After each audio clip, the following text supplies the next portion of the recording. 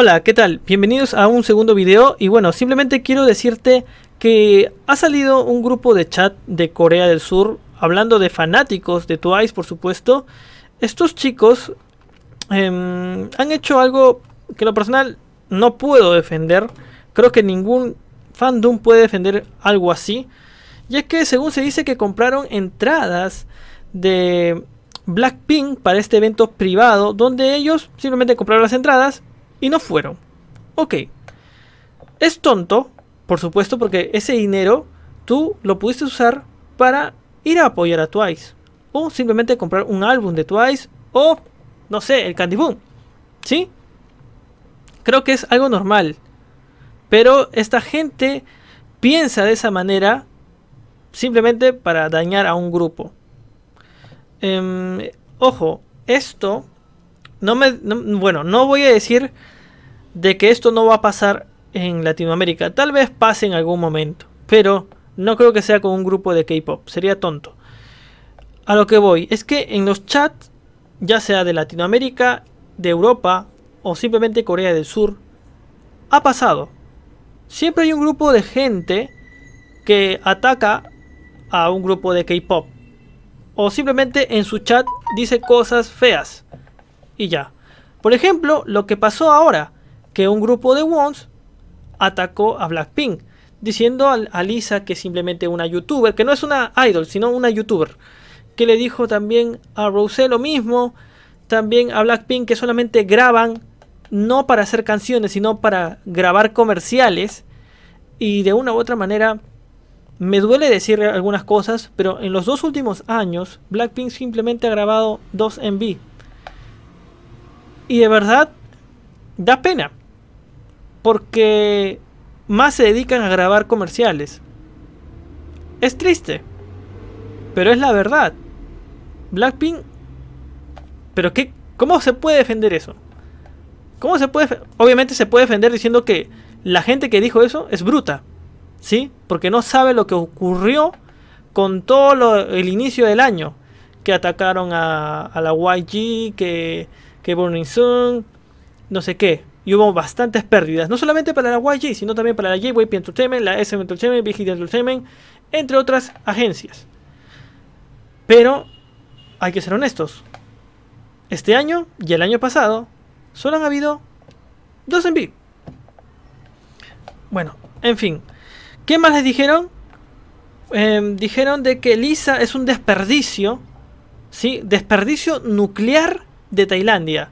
Y eso sí fue un poco fuerte, porque no solamente está hablando de un artista, sino una artista extranjera, que viene de afuera. Y obviamente se nota ese, esa discriminación que tienen los coreanos con otros artistas. Y es horrible. Le pasa a Sana. Le ha pasado a Sana de Twice. Y esta gente no se ha dado cuenta. No sé quién más le pasó. Aparte de Lisa, no sé quién más. Pero una discriminación horrible. Y bueno, eh, de que Blackpink no sirve, de que no le den de comer, que no le den agua ni nada. De verdad esto no es tan súper grave, digamos, pero lo que sí ha sido grave para mí es el es el hecho de, de comprar entradas para no ir. O sea, perdiendo plata. Es, tonto. Muy tonto, de verdad. Bueno, gente, ahora tenemos este video. Quiero que lo vean. De verdad, es increíble.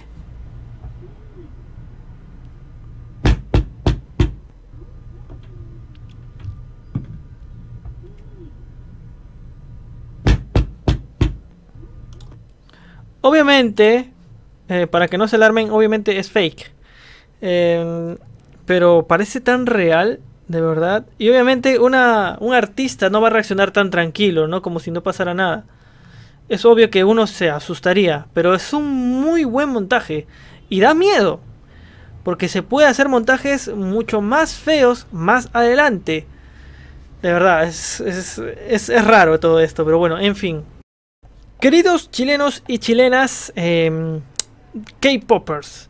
Esto no lo puedo afirmar, pero sí les puedo preguntar a ustedes si hay un informe de K-Pop que está ligado a los problemas que está sucediendo No sé si es un fake news, de, de antemano pido mil disculpas, pero aquí están las páginas como entre comillas pruebas de que se está hablando de ello.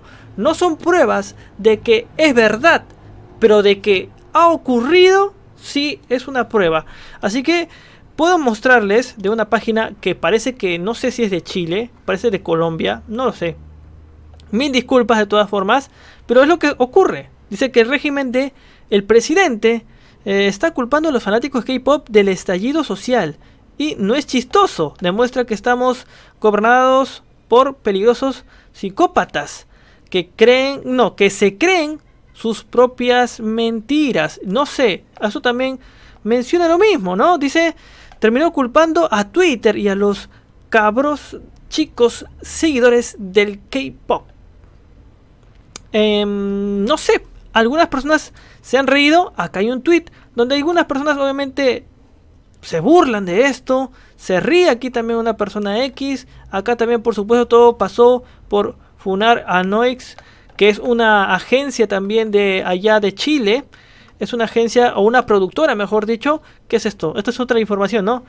Las infinito tal, tal, ¿no? Tal, tal, tal, Más comentarios y yo de verdad me vuelvo loco. ¿Qué ha pasado en Chile? Esto es una gran pregunta a los chilenos y chilenas que viven ahí. Quiero saber si es real. No puedo afirmarlo, como digo. Y si es mentira, obviamente pido disculpas. Aunque la verdad la mayoría de seguidores no, no tienen por qué mentirme. Siempre les pido pruebas. Y yo soy bien pesadito pidiendo pruebas. Eh, soy como el profesor. A ver, ¿has hecho la tarea? Que no sé qué. Ah, bueno, una tontería así. En fin, chicos. Em, eso sería todo. Gracias por haberme acompañado. De hecho, también un tal chico llamado Shiroi me mandó información hablando de Mamamoo que tuvo una victoria más en Inkigayo. Así que felicidades para Mamamoo. Y por supuesto, no olvides suscribirte, activar la campana y obviamente seguirme en Instagram. Un fuerte abrazo con todo el cariño del mundo. Nos vemos.